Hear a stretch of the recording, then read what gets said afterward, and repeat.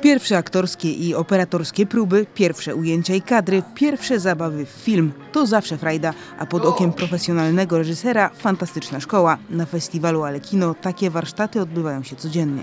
Jest potrzebna chęć, wiedza, e, bo samo to, że ma się jak ludzi i kamery, no to nie starczy, bo, bo no, nie wiesz jak to, jak to obsługiwać. O stronę techniczną dbają instruktorzy. Spotkanie z nimi to mała szkoła kina. Tu młodzi mogą liczyć na pomoc, ale o najważniejsze, czyli pomysł na film, muszą zadbać sami. cztery osoby czekające w kolejce y, nagle z, widzą wychodzące y, osoby za drzwi i to są jakieś fantastyczne postacie, takie właśnie jak księżniczki, y, różne postacie z filmów, bo to się dzieje w kinie i żeby było takie y, nawiązanie do właśnie festiwalu, y, ale kino.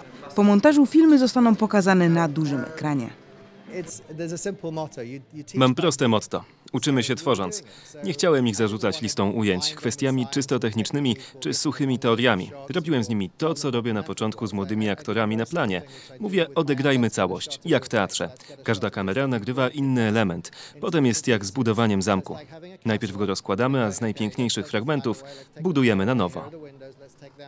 Co roku od 19 lat na Ale Kino można zobaczyć to, co już zbudowali młodzi twórcy i polscy reżyserzy. To jest wielka satysfakcja i przyjemność. Mówię to nie tylko jako dyrektor, bo to nie jest zupełnie ważne, tylko jako człowiek. Podczas trwania projektu powstało już ponad 100 obrazów. Na tym festiwalu pokazano pięć najnowszych. W tym roku wielka przygoda z filmem. E, W wielkiej przygodzie z filmem uczestniczyły grupy trochę w cudzysłowie specjalne. Były to dzieci niewidome, y, upośledzone, dzieci po prostu inaczej, y, specjalnej troski. Warsztaty i w efekcie filmy powstawały w poznańskich szkołach i stowarzyszeniach przez cały rok szkolny.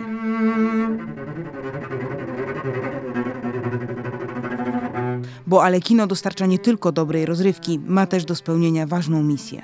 Problem polega na tym, że zapotrzebowanie takie kulturowe trzeba kształtować w człowieku. Kształtuje się między innymi poprzez umożliwienie kontaktu z dziełami.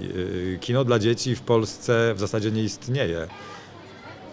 Ani nie mamy specjalnie dużej produkcji. W tej chwili powstaje jeden film na 2-3 lata. To jest tyle co nic. Dla przykładu w Norwegii, która ma mm, bodajże 10 milionów mieszkańców albo i mniej, e, powstaje 5-6 takich filmów w ciągu jednego roku. No więc na czym budować te przyzwyczajenia, te, tę tradycję chodzenia na, na swój własny film z dzieckiem do kina, jeżeli nie ma takiego filmu w kinie? Jeszcze do niedzieli ten dobry film dla młodych w kinie będzie. Piątek i sobotę można wybrać się do sceny wspólnej. Tam czekać będą pokazy dla najmłodszych, nawet czteroletnich widzów.